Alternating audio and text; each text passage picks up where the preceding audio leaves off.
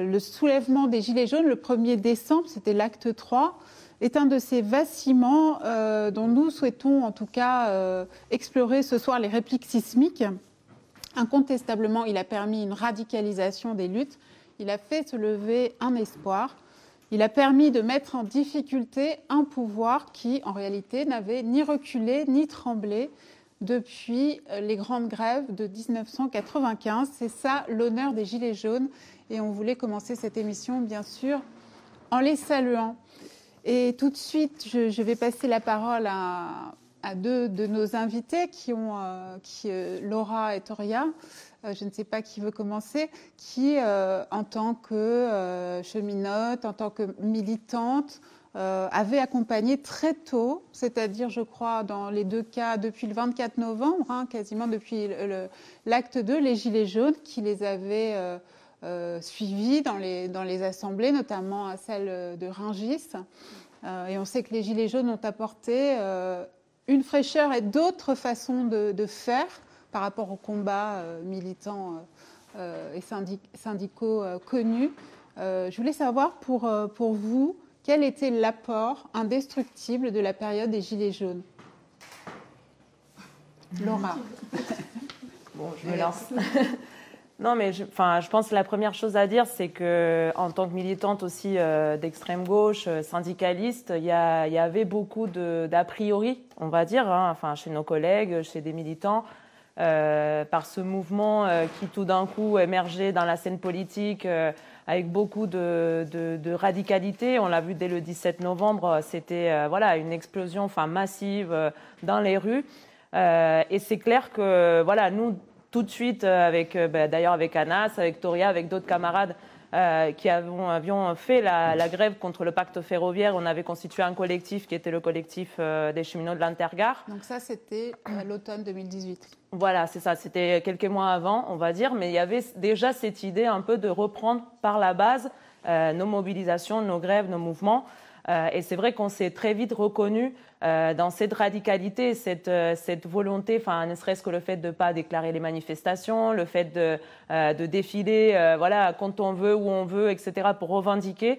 C'était quelque chose d'important pour nous. Et dès le 24, euh, ben, on s'est appelé avec euh, Youssef, je me rappelle, euh, du comité Adama pour, pour voir voilà, qu'est-ce qu'on pouvait faire ensemble, comment on pouvait appeler. Et on est arrivé, on est débarqué dans les Champs-Élysées avec nos gilets oranges. avec, on était plus d'une centaine de cheminots, je crois, à défiler dans les Champs-Élysées ce, jour-là pour, pour nous joindre à la colère des Gilets jaunes. Oui, puis on avait ramené notre fameuse banderole Faisons tous dérailler Macron. Euh, qui était assez grande et tout. Et euh, oui, le, mouvement des Gilets jaunes nous a donné un, second souffle, nous qui avons en fait euh, bataillé pendant la bataille du rail en, avril 2018, enfin au printemps 2018 et où on a eu en fait pas mal d'actions un peu radicales en fait même dans, nos, dans, dans notre propre grève. C'était quelque chose aussi qui s'est inscrit en fait dans la continuité.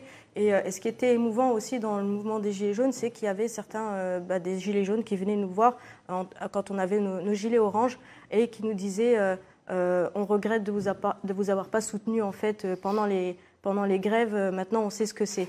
Et, et c'est vraiment touchant parce que, parce que voilà, on, sait très bien que du fond de son canapé, on a du mal à, réaliser en fait ce qui se passe sur le terrain tant qu'on n'a pas touché le terrain, tant qu'on n'a pas goûté au goudron. Euh, et, en fait, c'est là où cette cohésion en fait entre des gilets jaunes, euh, mais qui sont venus en fait de, tous bords. En fait, c'est vraiment, euh, c'est aussi ça qui a fait une certaine appréhension en fait par rapport à ce mouvement, c'est que tout de suite on a dit oui, il y a beaucoup d'extrême droite, il y a beaucoup de, racistes, etc. C'était dans les tout premiers, les, tout premiers moments, même avant, je crois, le, début du, avant le 17 novembre. Euh, et, ça, en fait, il, il, fallait être sur le terrain. Je pense que ça aurait été une erreur si on n'y avait pas été, si on n'avait pas appelé euh, aussi euh, les, les, comités des, quartiers populaires à venir nous rejoindre dans, cette bataille, parce que on se serait en fait retrouvé complètement à la ramasse. Il y a, certaines structures syndicales qui n'ont jamais souhaité intégrer le mouvement des Gilets jaunes, toujours persuadées en fait d'avoir eux le le modèle de, manifestation euh, le, mieux et le plus adapté à toutes les situations.